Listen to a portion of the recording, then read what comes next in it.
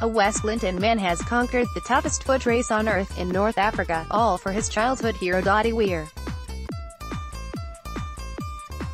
Murdo Anderson returned home on Monday night after taking on the 156-mile Marathon of the Sands, a six-day event running across the Sahara Desert in Morocco.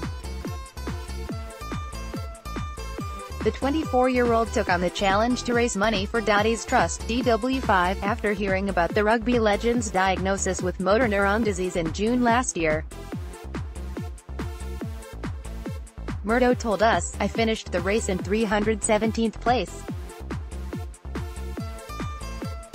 Seeing as I had never run a marathon before this, my main goal was to complete the race, and my secondary goal was to finish in the top 50%, so with over 1,000 entrants I was so pleased to finish where I did, considering most competitors are regular marathon or ultra-marathon runners. On the final marathon I actually finished in 105th place and for a brief period was leading the race, in front of professional runners which was just incredible. The whole experience was life-changing. The Sahara Desert is a wonderful place. Learning that when you really push yourself physically and your brain is telling your body it's tired, you can ignore that and you have access to a whole reservoir of energy and endurance. But the race wasn't all plain sailing, the former Peebles High pupil had to endure scorching temperatures throughout. The toughest part was probably about 30 miles into the long stage, the early afternoon got up to 50 degrees and there was absolutely no wind to cool you.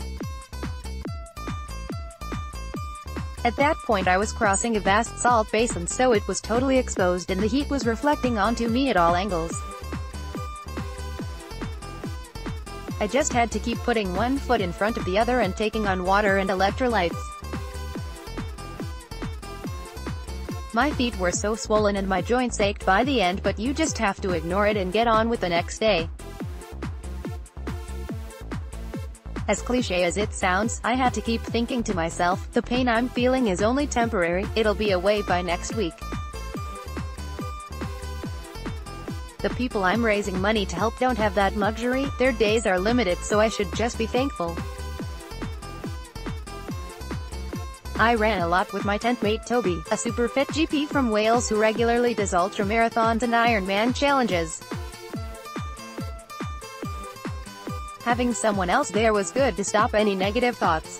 To top off an incredibly tough week, Murdo has raised over £8,000 for Doddie's charity. He added, getting home and finding out how much people were behind me was a heartwarming feeling. Thanks so much to everyone for the support and messages throughout the race.